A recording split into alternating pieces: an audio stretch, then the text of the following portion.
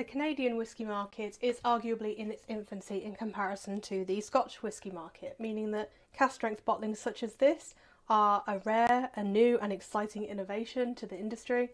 This is a cask strength Canadian rye whisky by Alberta Premium, beautifully presented and filled with a powerful and spicy rye whisky.